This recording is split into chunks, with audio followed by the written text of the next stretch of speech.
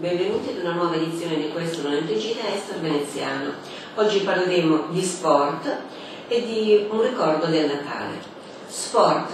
Bergonzi diventa arbitro internazionale. L'arbitro 36enne Mauro Bergonzi, che a Savona fa l'assicuratore per conto della Unipol, è stato inserito dalla FIFA nella lista degli arbitri internazionali di calcio sono nove gli arbitri e dieci gli assistenti italiani che la FIFA ha inserito nei ruoli internazionali pubblicando l'elenco ufficiale per il 2009.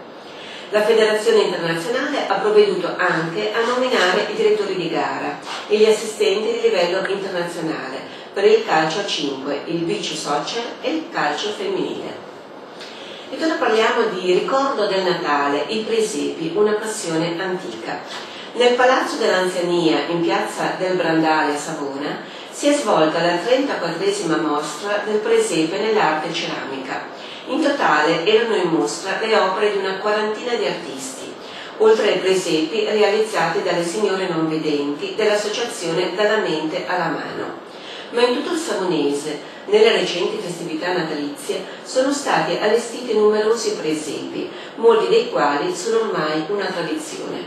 Ricordiamo tra questi il presepio meccanizzato di Anselmo Fontana, che ha un'estensione di 7 metri per 3, collocato in un locale dell'Arciconfraternita della Santissima Trinità, in via Collodi 3, attiguo alla chiesa di Santa Rita a Savona e quello collocato nella chiesa di San Matteo a Luceto, che misura ben 130 metri quadri, in cui è stato riprodotto il paesaggio di Albissola Superiore all'inizio del secolo. In esso sono di particolare pregio le riproduzioni di Villa Gavotti, della chiesa di San Nicolò e della chiesetta di San Pietro.